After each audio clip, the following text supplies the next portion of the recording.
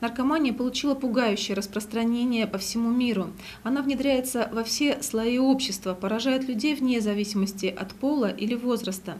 Далее поговорим о том, как помочь человеку, попавшему в наркозависимость. На территории Новосибирской области официально зарегистрированных больных наркоманией около 8 тысяч. Еще около 3 тысяч человек употребляют наркотики от случая к случаю. Это данные статистики, которая не отражает объективной ситуации. Реальное число потребителей может исчисляться десятками тысяч. Наркомания алкоголизм, они прогрессируют. И касаемо зависимостей, это интернет, их очень много, да, зависимостей. Э, мы знаем сегодня это интернет-зависимость, это нарко, алкозависимость от э, психоактивных веществ. Это все набирает обороты, да? Человек – существо социальное. Мы все зависим от изменений окружающего мира. Нас захватывает все новое – Некоторых захватывает настолько, что это становится практически полной заменой реальности. Это относится к интернет-зависимости. Интернет-зависимость, а, мультимедийная да, зависимость, они, если сравнивать э, ну, с химической зависимостью, вот симптоматика, э, поведение, да, даже патологический процесс, он одинаковый. Одинаковый, на одном уровне идет.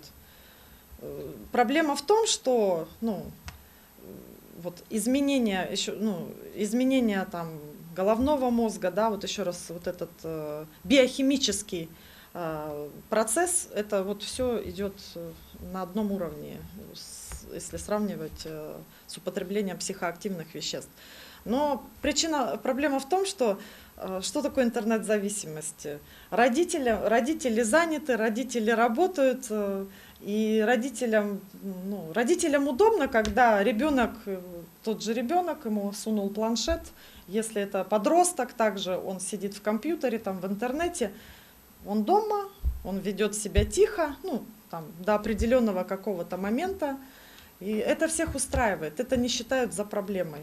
А затем начинают, начинается симптоматика, да, вот э, симптомы созависимого поведения а, Какие симптомы созависимого поведения? В первую очередь можно отметить то, что все, что связано с внезапностью. Вот с внезапностью. Внезапно может измениться его настроение. Причем это, это даже не как-то постепенно, это будет происходить внезапно. Это касаемо, еще раз, если брать там а, психоактивные вещества, алкоголь, наркотики, это касаемо интернет-зависимости. Вот был такой ребенок, был послушный, внезапно стал непослушный. И э, внезапно изменяется аппетит у человека, у ребенка. Да? Либо человек много кушает, либо он мало кушает, либо он совсем перестает. И все это будет связано с внезапностью. Внезапно изменится его сон, он начнет ну, плохо спать. Вот, вот это все симптомы а, зависимого поведения человека. Ни один зависимый человек не считает себя зависимым. Он не осознает той трясины, в которую попал. Поэтому перед родственниками и близкими людьми стоит сложная задача – помочь попавшему в беду. Как правило, ну, родители, они начинают своими силами, своими средствами как-то заниматься ну, с таким самолечением, самовнушением, разговорами. Это все не помогает. Да? Потому что если брать, допустим, ну, вот первая стадия, первая стадия там, наркомании, то действительно можно привести такой пример, как я вот уже говорила, что это как вот человек садится, вот гора такая, человек садится на сани, и он просто едет с этой горы. Возможно этого человека остановить, когда он с горы на санях летит? Нет. Да? То есть вот это попробовать, вот это захватывает все. А вторая стадия уже человек, он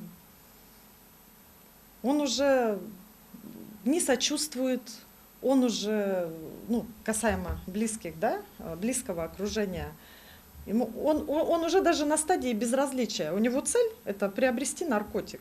Там, наркотик, психоактивное да, какое-то вещество. Поэтому вот здесь э, родителям, родителям необходимо, конечно, знать эти симптомы зависимого поведения – и, и делать этот первый шаг, обратившись к специалисту, прийти на консультацию.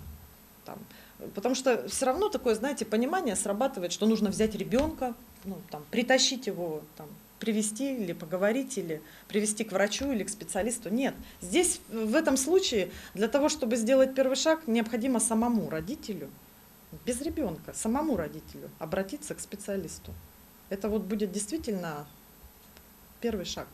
Наибольшее число употребляющих наркотические вещества относится к возрастной категории 20-39 лет, а начинается все с интереса компании друзей. В особой зоне риска старшеклассники и студенты. Но бывает и такое, что впервые наркотик был попробован гораздо раньше. Лучше проводить, там, когда первичная профилактика или когда она вторичная, когда уже мы подходим к реабилитации, когда уже Зависимость, как правило, она 15 лет. Задаешь вопрос, со скольки лет начал употреблять ну, вот, психоактивное вещество. Это 10 лет, это 8 лет. Родители даже об этом не знают. То есть эта болезнь зародилась вот в таком возрасте. И дальше эту болезнь, ну, по сути, она развивалась, ее не лечили, да? Но это возраст, как правило, вот такой. Ну, это вот да, вот возраст, там, когда уже там 30 лет на, там, на вторичной они уже находятся, профилактике, на реабилитации. А если сейчас брать подростков, да, то есть это все значительно вот, всеми способами. Конечно, здесь, здесь, нужна, здесь нужна профилактика, здесь нужно, ну, нужны знания, здесь нужно обратиться к специалистам родителям. Чем, чем быстрее они обратятся, да, тем это будет лучше, э, чем эта болезнь будет затягиваться. Вопреки расхожему мнению, специалисты утверждают, легких наркотиков не существует. Они все наносят урон организму. И есть среди них и такие, которые вызывают стойкое привыкание уже после единичного употребления. Ну, наркотик есть наркотик. Нету вообще, нету легких наркотиков и нет тяжелых, да. То, что называют э, легкими наркотиками, это то, что ну, начинает развитие, даже если кто как легкие наркотики, которые называют. Это все приобретает, ну, разгон такой, дает разгон а, к дальнейшему. Это, а, конечно, наркотики, они там с, с различными названиями появляются, да, то, то есть э, способ приема поменялся, способ приема, если э, там инъекции, да, там были, то сейчас это в основном, это курят, это дышат, то есть даже ну, не надо никаких инъекций, но те наркотики, синтетические наркотики, которые сегодня, на сегодняшний день употребляют, они легко доступны, они по цене, во-первых, более доступны, да, там, чем опийные наркотики, к примеру. Они действительно, как их взять, более легко доступны.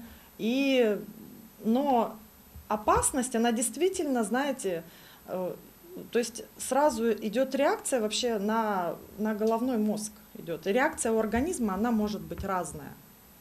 Потому что ситуации один там, вот, допустим, парень попробовал, его, ну, он, его в кому в больницу увезли. Ну, подросток, да, то есть ну, впечатлило его это, полгода он после этого как отошел, все, слава богу, не употреблял. Но потом он пошел опять это употреблять уже причем целенаправленно. То есть они вызывают, они вызывают очень сильную зависимость сразу же после первого приема, да. И они очень тяжело выводятся из организма, именно вот эти синтетические наркотики, которые на сегодняшний день употребляют. И почему и необходимо родителям, если появились какие-то симптомы вот этого созависимого, во-первых, родители могут не знать этой симптоматики, да, почему тоже очень важно знать симптомы этого а, поведения, да, зависимого. И вот э, сделать этот первый шаг, обратиться к специалисту. Это к психологу, это к консультанту, это к наркологу. То есть ему в первую очередь обратиться ну, за консультационной помощью.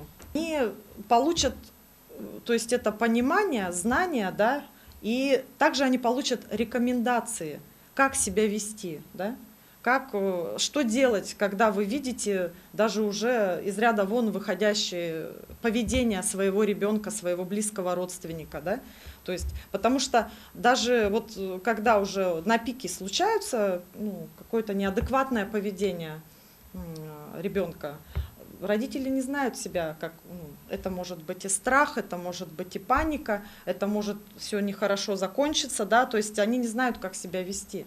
Здесь можно тоже получить э, необходимые рекомендации, как себя вести, что делать в этот момент. Наркозависимому человеку со своей проблемой редко удается справиться самостоятельно, хотя бы потому, что нет осознания проблемы.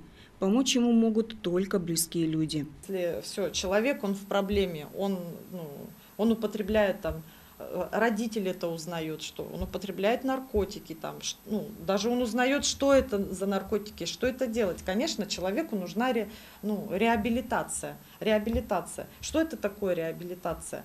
Вообще вот реабилитация это необходимое условие для начала выздоровления. Да? А реабилитация – это вот то надлежащее место, где вот, да, это вот человек, человеку создается такой вакуум, потому что сам по себе знаете, он уже не может обладать над собой, да, он, э, его воля захвачена, он не может справиться с собой, он не может э, принимать никаких решений, то есть вот, ну, то есть вот так сейчас действуют вот эти наркотики. И когда он попадает на реабилитацию, это такая, еще раз говорю, надлежащая обстановка, где он восстанавливается, ну, не употребляя никаких психоактивных веществ, да, это то место, где запускаются вот эти все механизмы, механизмы на уровне духа, души и тела рычаги, да, которые были утрачены. То есть, знаете, мотивация происходит а, для того, чтобы э, человек вот в дальнейшем сам мог управлять своей жизнью.